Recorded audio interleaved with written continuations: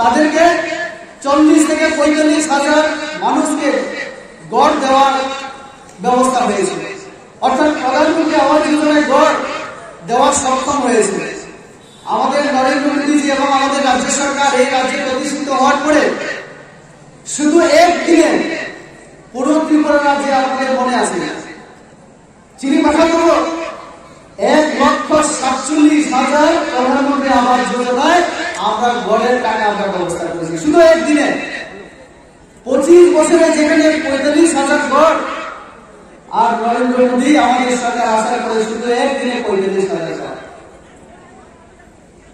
Gas রান্নার যে gas তার চুল্লি থেকে শুরু করে তার যে সিলিন্ডার, প্রথম যে কানেকশন নেওয়া, এগুলি মহিলাদের নামে আমরা কালেকশন দিয়েছি তাও ফ্রি এই এলাকা থেকে মন্ত্রী, ত্রিপুরা বিধানসভা রাজ্য সরকারও কাম ফিরে দিতে কিন্তু তাই নিয়ে সিপিআইএম এর যারা কিছু করার কিছু করার তাদের ক্ষমতা ছিল। সিপিএমরা শুধু একটা কথাই বলতো কেন্দ্র বঞ্চনা। কেন্দ্রীয় সরকার দেয় না। আর যেগুলি কিছুটা কাজ হয়েছিল, তার পুরো ক্রেডিট তারা নেওয়ার চেষ্টা করছে। সব সময় কেন্দ্র বিরোধী স্লোগান করে। আপনি বাকিল কেন্দ্রীয় সরকার। অনেক কিছু আমাদের পর বড় বড় কাম থেকে উন্নয়ন ফেলে এবং চিনি সরকার ফাইনালি করে। যখন আমাদের নরেন্দ্র মোদীজি প্রধানমন্ত্রী হলেন, এবং আমাদের রাজ্যে আমাদের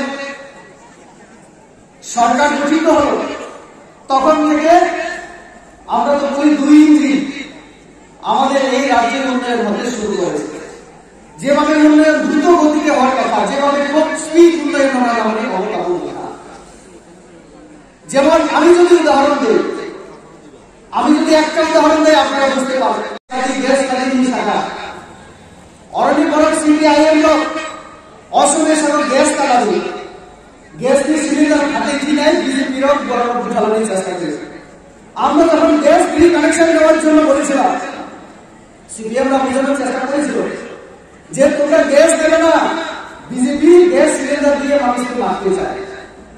আমি যে ঘন্টাছড়া থেকে আমি প্রতিনিধিত্ব করি, এই ঘন্টাছড়াতে একটা রেজিস্ট্রেশন বোয়ালখালী নামে একটা জায়গা আছে। সেখানকার যে বুথ প্রেসিডেন্ট, উনাকে থানায় নিয়ে যাওয়া হয়েছিল। কেন? উনি গ্রামে গ্রামে মানুষকে বলেছিলেন তোমরা গ্যাস কানেকশন পাওয়ার জন্য সিলিন্ডার পাওয়ার জন্য দরখাস্ত জমা দাও আবেদন করো। উনার নামে অভিযোগ করা হলো বিজেপি নেতারা মানুষকে হয়রানি করে। আসলে তৎকালীন সময় নবীন ত্রিপুরা যিনি বিধায়ক ছিলেন ঘটনাছড়া মন্দির উনি জানতেন না এই কথা যে মাননীয় নরেন্দ্র মোদী মানুষকে বিনামূল্যে গ্যাস দেওয়ার ব্যবস্থা করেছেন দেশের মধ্যে। কারণ তারা দেশ এবং বিদেশের খবর রাখতেন না তারা শুধু মার্কসবাদ লেনিনবাদের কথাই জানতেন দুনিয়াতে কি হচ্ছে তারা খবর রাখতেন না লেনিনবাদ ছাড়া কোনো সিনেমা যখন থানায় গিয়ে আমরা ওসির সঙ্গে কথা বললাম, আমরা ইন্টারনেট গুগলে গিয়ে ওনাকে দেখালাম কেন্দ্রীয় প্রকল্পগুলি থানার ওসি আমাদের কাছে ক্ষমা চাইলেন। বললেন, আমারও জানা ছিল না, মাননীয় বিধায়কের ছিল যে মানুষকে চিটিং বাজি করেছে মানে চিটিং করা মানে কি? ফুড টোয়েন্টি মেলে আমরা? আর পিসি দ্বারা আমাদের এখানে পুলিশ অফিসাররা আছেন।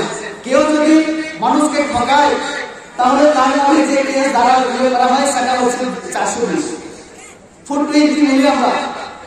সেই ধারা লাগানোর চেষ্টা করা হয়েছিল যে বিজেপি নেতারা ফুড টোয়েন্টি মোতাবেক মানুষকে ঠকায়।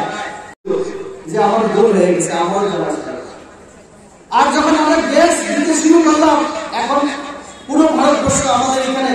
আমি কাশ্মীরে ছিলাম কয়েকদিন আগে এসে এখানে মহিলারা বলছে কন্যাকুমারী তো আমার যাওয়া শুরু হয়েছে সব আমাদের দেশের কৃষকরা চিনি দেশ নিয়ে যারা কৃষি কাজ খেলায়, বানিয়া খেয়ে যারা ভূপাল খেয়ে কৃষক।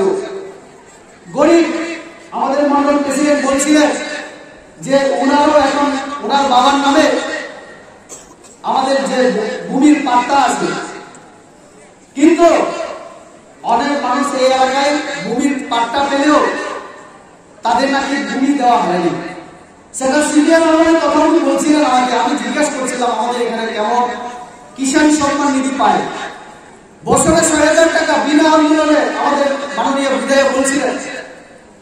আমাদের মাননীয় সরকার যখন মুখ্যমন্ত্রী ছিলেন, ওনার নেতৃত্বে যতজন মন্ত্রী অথবা সিপিআইএম যত প্রত্যেক একটা না কম, যে সিপিএম তো এসে লড়াই নামক আর একটা কথা বলতে, লড়াই লড়াই লড়াই চাই, লড়াই করে বাঁচতে চাই, লড়াই ছাড়া তারা কিছুই জানি না।